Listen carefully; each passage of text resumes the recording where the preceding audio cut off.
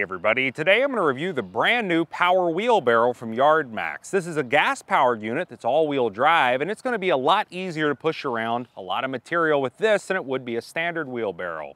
In fact, the unit itself weighs about 350 pounds and then you can put an additional 660 pounds in it, pushing around more than a thousand pounds when it's fully loaded. Now it's going to do so with really no effort on your part and unlike a traditional wheelbarrow that only has one wheel on the front, and it's very likely to tip over if you get on an angle or you have too much weight on it. This one's not gonna have that problem because it has a very wide wheelbase. And what I wanna do in this video is give you some close-up looks at this. We're gonna go over exactly how it operates, and then I'm also gonna show you some tips that I found along the way using it that does make it a lot better. Starting the motor on this is very simple because the only thing you'll have to do is turn the fuel on, open the choke up, turn the throttle cable up to high, and then take the large on-off switch and flip it to on. At this point, the motor's gonna start right up as soon as we pull out on the recoil starter.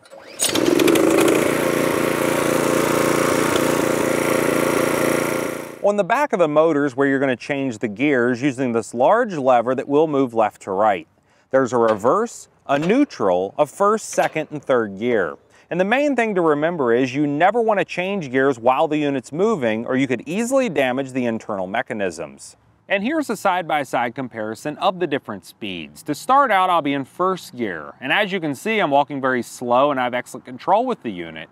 And this would be ideal if it was completely loaded down, I was loading it on a trailer or in the back of the truck because it's not gonna get away from me.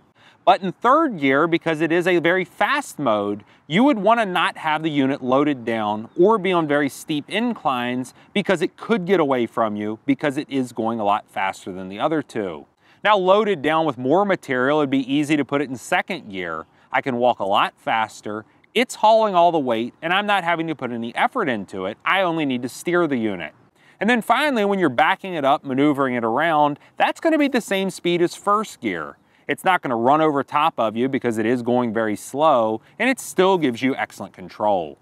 On the handles, there are three different levers that do three distinct different things. On the left-hand side, we have two levers. On the right-hand side, we have one lever. Now the levers underneath actually control the wheels on either side. So as it's going along, if you hold it on the right-hand side, the right wheels will stop turning, the left wheels will continue to turn, making you have a right-hand turn. If you release it, it's gonna go back straight again. And then to make a left-hand turn, if you pull up on the left-hand levers, the left-hand wheels will stop and the right-hand wheels will continue to turn. But the main thing to remember if you're dealing with any of this, the unit is not gonna move unless you hold down on the clutch lever first. You need to do this after the unit's running. This is this large red lever. You hold down on that, and then you can operate the two sets of wheels individually. If you have a problem, just release the clutch lever and the unit's gonna stop immediately. On the right-hand side of the unit, underneath the lever and just above the tire about halfway down, you'll notice a separate lever, and this is to allow you to release the catch on the dump bed. Now with it forward, the dump bed's locked in place and it can't accidentally pop forward on you.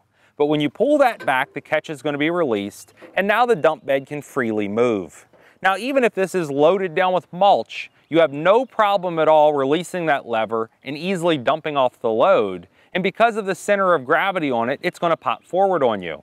The other thing to remember, once it is popped forward, because some of the load could still be pressing against the bed, just put the unit in reverse, back up a couple feet, then push the lever forward, and then lower the dump bed back down to lock it in place.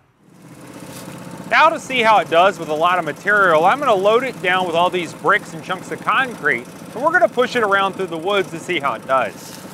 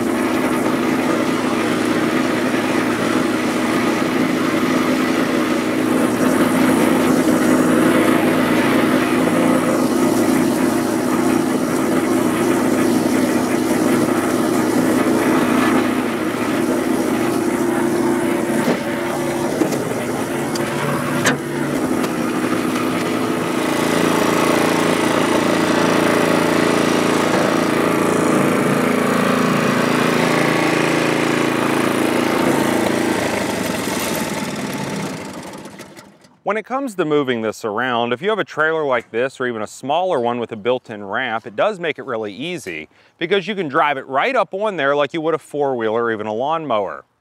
But if you don't have a trailer, you simply don't want to use one, using a set of ramps, you can also load it in the bed of your truck with no issues. The main thing to remember is to keep it in first gear. You don't want to go up faster than that because it could end up falling off the ramps. And if you do have a problem as you're loading it, even with the motor running, release the clutch lever. This is going to stop all four wheels at once and it's not going to get away from you.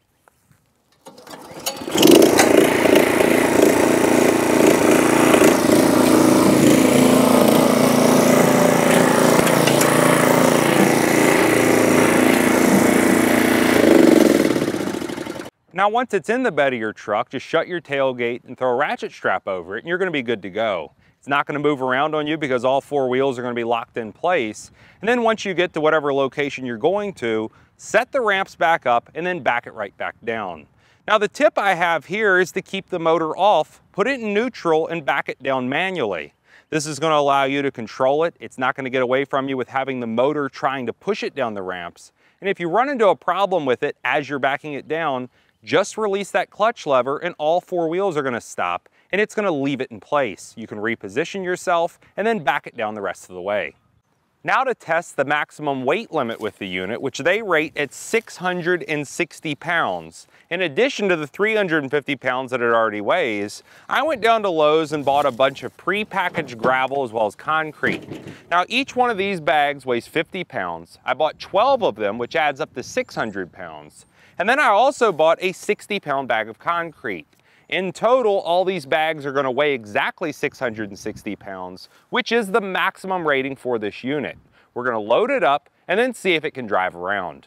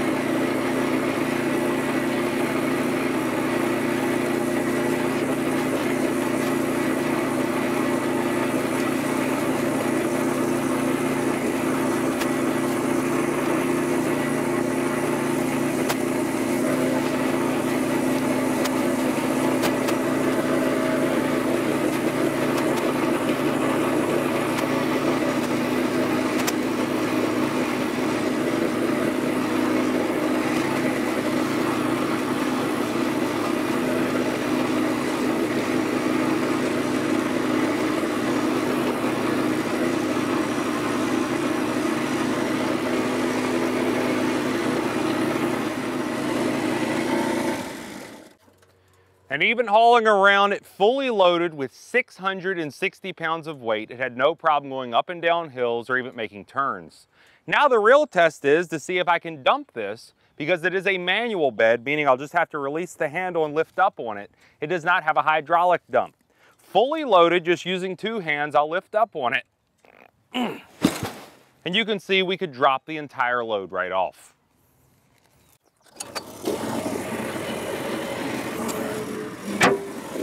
The tires on this unit are very heavy duty and we can see that it has very deep directional tread, which is ideal for loose ground or even wet soil. If you're driving across gravel, sand, or even dirt, this would be the perfect tire to use, but it's not gonna be the perfect tire if you're dealing with somebody's nice lawn. They're not turf tires, and if you have to make a sharp turn, these are gonna really dig in and tear up the grass, exposing the dirt underneath. A good solution would be to pick up a second set of rims and tires, one with this deep directional tread for certain situations, and then one with turf tires for a different situation where you don't want to damage the ground that you're driving over top of. A cheap and easy solution that I found for turf tires was actually trailer tires at Harbor Freight. The tire and rim combo off the shelf is only $30. And then I went ahead and bought four of those, so I had four matching wheels.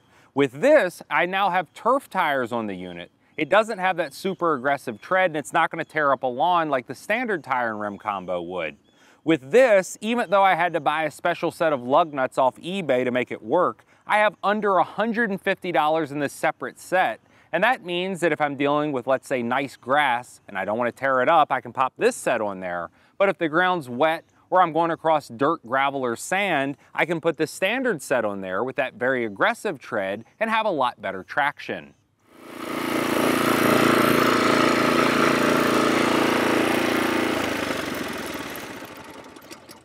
So now you've seen YardMax's brand new power wheelbarrow for yourself, and I'd like to know what you think of this unit. Are you impressed with its performance?